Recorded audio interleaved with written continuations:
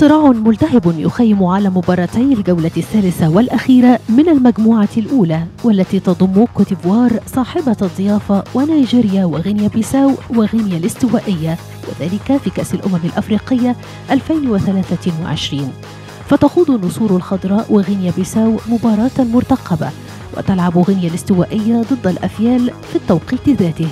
وقبل انطلاق المباراتين تعتلي غينيا الاستوائية صدارة المجموعة خلال مشاركتها الرابعة تاريخيا في نهائيات البطولة إذ فازت في مباراة على نظيرتها غينيا بيساو وتعادلت أمام نيجيريا. يمتلك منتخب الرعد الوطني أربع نقاط يليه نيجيريا بالرصيد نفسه بفوز على كوتيفوار وتعادل أمام غينيا الاستوائية.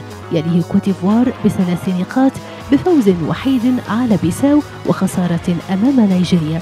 فيما يتزيل بيساو الترتيب بدون نقاط إذ خسر أمام كوتيفوار وغينيا الاستوائية وحتى الآن لم يحسم صراع التأهل في المجموعة نظرا لتقارب النقاط بين أصحاب المركز الأول والثاني والثالث حيث يأمل منتخب نيجيريا في تخطي عقبة بيساو الجريح لضمان تأهله لدور ثمن النهائي. وفي جعبته سبع نقاط كما يتمنى تعثر غينيا الاستوائية بالخسارة أو بالتعادل وذلك من أجل ضمان المركز الأول.